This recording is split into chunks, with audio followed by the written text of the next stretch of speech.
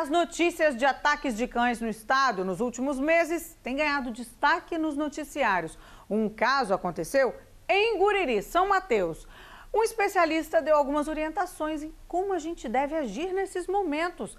Jota Barbosa, boa noite, conta isso pra gente.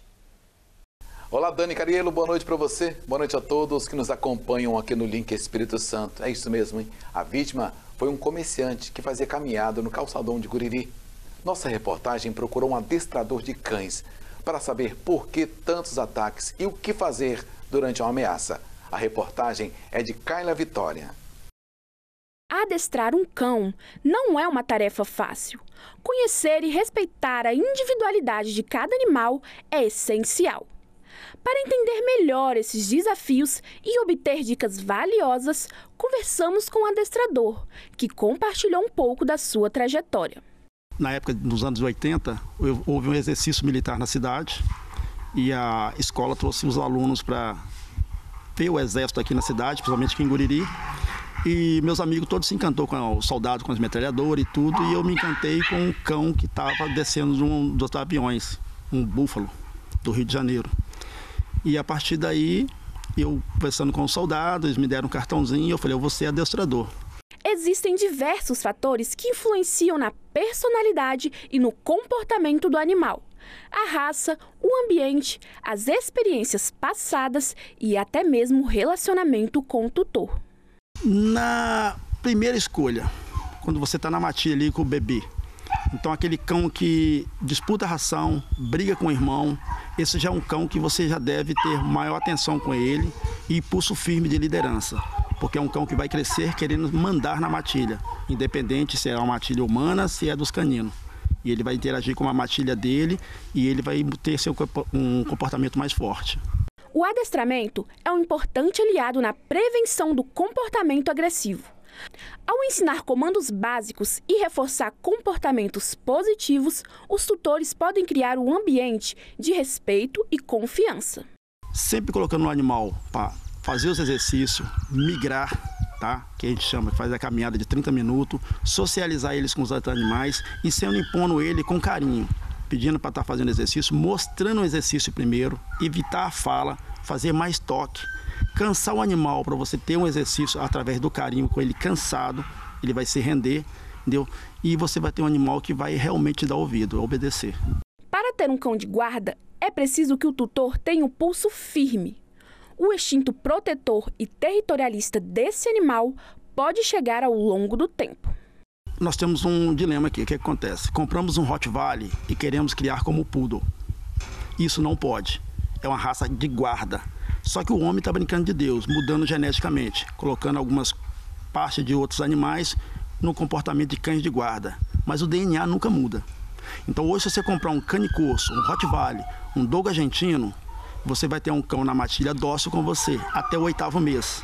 Depois do oitavo, ele vai tentar testar o seu poder de fogo, a sua defesa. E o meio dele mostrar isso é com a boca. Às vezes é no seu filho, na visita, e você não está esperando, porque ele foi sempre um cão dócil. A socialização precoce permite que o cão se adapte melhor a novas experiências ao longo da vida. Quando você está na rua ou está recebendo uma visita, o animal vai estar sempre prestando atenção no líder. Então você não vai correr menos risco de ele estar atacando sem te alertar. Então, ou seja, você socializando o animal, você está passeando no calçadão em Guriri ou numa praça, e o outro animal passa, ele ignora isso. Ele foi treinado para receber essa ignorar, ignorar o outro animal. Os cães têm maneiras sutis de comunicar o seu desconforto ou tensão. Reconhecer esses sinais pode ajudar o tutor a intervir de maneira adequada e evitar situações perigosas. O cão a gente consegue ver no olho dele que ele muda totalmente a cor do olho.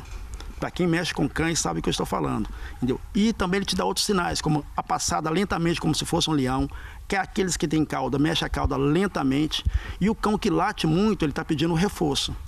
Esse não é um cão, ele está te alertando, então você pode correr. O perigoso é aquele cão que eu estou falando aqui, que vem lentamente te olhando dentro do olho e com essas características, ou seja, calculando o ataque. Esse cão é perigoso. Entender como agir ao se deparar com um cão agressivo faz toda a diferença nessa situação de perigo, tanto para a pessoa quanto para o animal. O adestrador passa orientações do que fazer. Primeira coisa, gente, vocês criadores de cães de raças pesadas, quando eu citei Rottweiler, Dogo, Doberman, use a coleira, o enforcador. O nome enforcador não é para enforcar o animal, mas no caso desse, você tem aonde você segurar. Nunca põe a mão diretamente no animal. Se você tiver mochila, põe na frente. Se você tiver uma camisa, ponha na frente. No último caso, você, no caso de um homem ou uma mulher né, forte, abraça o animal e tira ele do chão, afastando seu rosto. Entendeu? Algumas pessoas falam que para pegar na perna, o cachorro pode pegar seu braço, pegar seu rosto e coisa pior pode acontecer. Então o ideal é que o animal sempre tenha um enforcador, uma correntinha lisa, onde você possa ali estrangular o animal, mas sem maltratar ele. Esse estrangulamento, a palavra é pesada, mas entre uma vida humana e um cachorro, até quando é um filho da gente. Aí realmente vira um leão e quer matar o cachorro. Mas não é por aí. Outra coisa, você pegar um cão adulto e levar para sua casa. Ele estando com fome, ele vai ser seu amigo. Ele estando de barriga cheia e achar que você vai mexer na vasilha dele, ele ataca seu filho, tua esposa e você. Então, muito cuidado ao resgatar um animal. Vamos agora com as principais notícias da nossa região. Denúncias anônimas de moradores da comunidade de São Miguel, zona rural de São Mateus, levaram a PM a uma casa onde traficantes armazenavam drogas. No local, os policiais apreenderam nove tabletes de maconha, três balanças de precisão, carregadores de metralhadora, pistola 380, munições calibre 380, 38 e placas de veículos de diversos estados. No momento, a casa estava vazia, mas testemunhas informaram que o local é um depósito para guardar entorpecentes e armas e frequentada por pessoas que não souberam identificar. No bairro Morada do Ribeirão, um homem foi preso em flagrante após denúncias anônimas. A prisão aconteceu na Rua 10, quando o suspeito manuseava uma arma de fogo. De acordo com a PM, ele jogou a arma dentro de um quintal e não acatou a ordem de parada, mas foi alcançado pelos militares. A arma, uma pistola Taurus calibre 380, foi recuperada e apreendida. Durante a tentativa de fuga, o suspeito teve várias escoriações e foi encaminhado para o Hospital Roberto Silvares. Os policiais apreenderam também munições calibre 380, aparelhos de celular e balança de precisão. Muito bem, Dani, esses foram os nossos destaques de hoje. A gente volta amanhã, viu? Forte abraço e até lá.